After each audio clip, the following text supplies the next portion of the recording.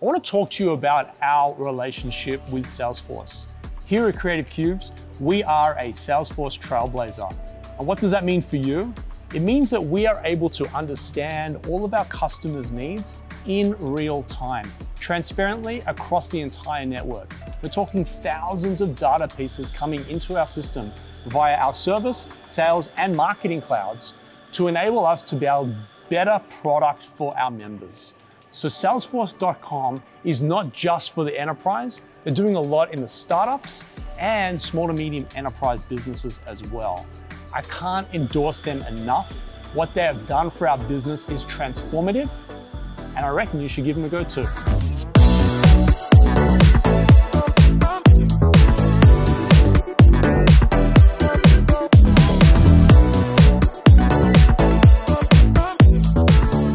Let's talk about local news here. Um, we're seeing Wesfarmers.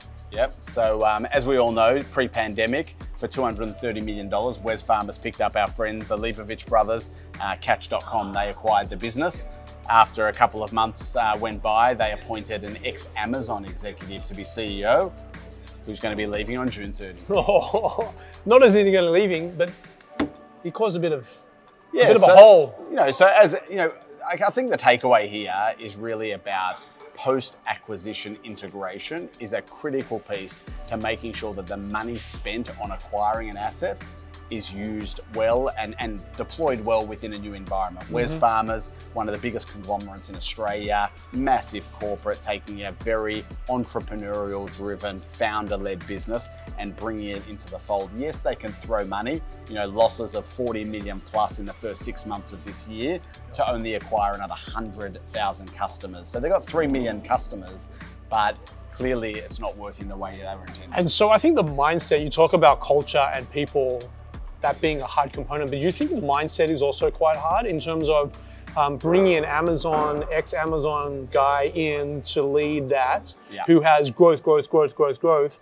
and then you've got your traditional retailers in the Wesfarmers portfolio going, no, no, no, this is not kind of how we do it. Yeah, I mean, it, it'll take a while for. It was a big acquisition for Wesfarmers for starters. Maybe Totally. not monetary wise, it was a lot of money, 230 mil, but from a, a bet, you know, they're acquiring this as a bet. They're now going to be moving them into what Wesfarmers are calling like Wesfarmers Digital or Digital One or whatever, whatever the name is, but they're moving it into a digital owned division to be able to start taking learnings from one digital division to the other, which is a smart move. Yeah.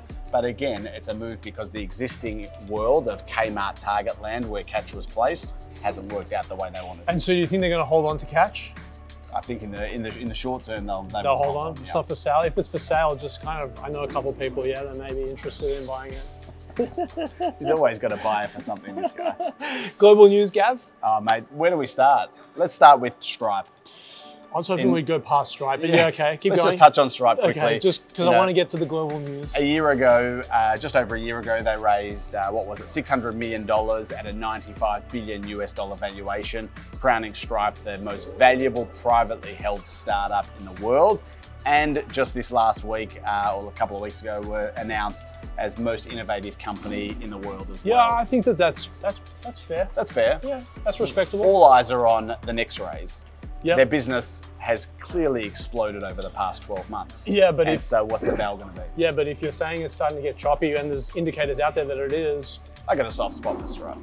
I do too. But do, do, do the Tiger Globals of the world have a soft spot for Stripe, or Yes. are they going to mark it down 34%? Well, let's see. But then the other thing that we saw this week was a fly through of Tesla Gigafactory in Berlin.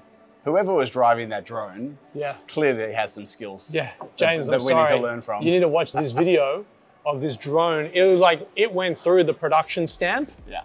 stamped Yeah. the car out, and then kept going. It's next level. It's Wow. next level. So that was cool. But it also is great for Tesla. Tesla uh, wannabe owners in Australia because that means the Giga Gigafactory Shanghai can start building for Australia. Is that what they're going to do? That's what they're saying. They're saying because Gigafactory Shanghai has been pushing all their cars off to Europe.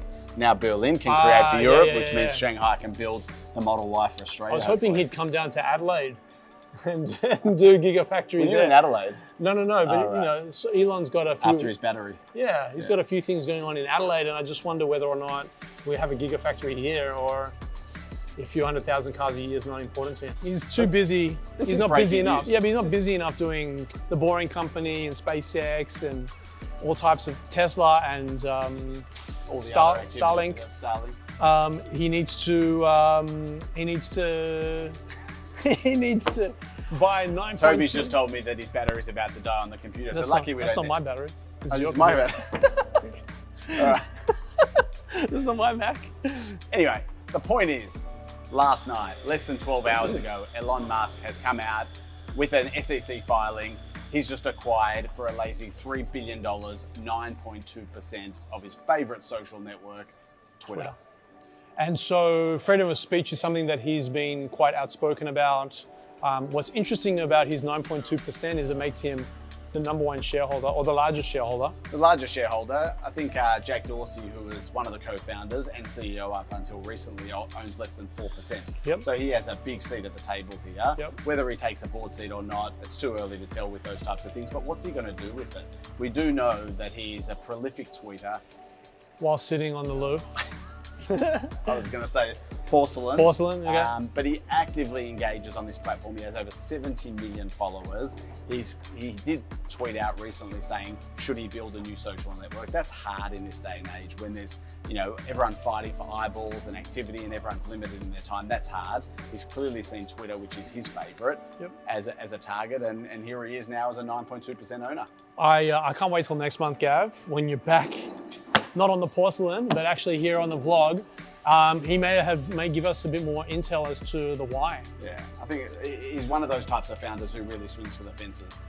So uh, Beyond the fence. He's Beyond the swinging fence. for the moon, mate. He's swinging for Mars. He's swinging for Mars. It's well beyond the fence. So, uh, Unbelievable. no, it's, it's, a, it's a very interesting development over the past 12, 12 hours and happy to bring it to this audience here. Guys, uh, we'll be back, not this time next month, but we'll be back next month, probably with bigger news. You know, I think we, we keep saying, can't get much bigger than this. That's right. All right. Thanks, guys. Thanks. See ya.